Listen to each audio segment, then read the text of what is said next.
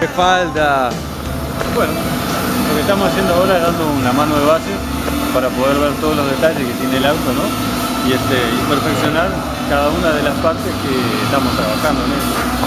Este, la meta o el propósito es dejar el auto en condiciones excepcionales, entonces tenemos que darle una mano de base para ir viendo lo que tiene, ¿no? Y este, entonces de esa manera poder sacarle los, los detalles que tiene y darle la, la línea que realmente lleva el auto.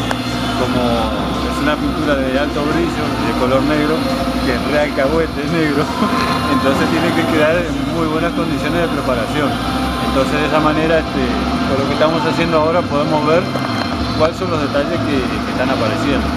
Los vamos perfeccionando y bueno, después viene otra mano de base más, que esa va a ser casi la final y si esa está ok, entonces se pinta de verdad.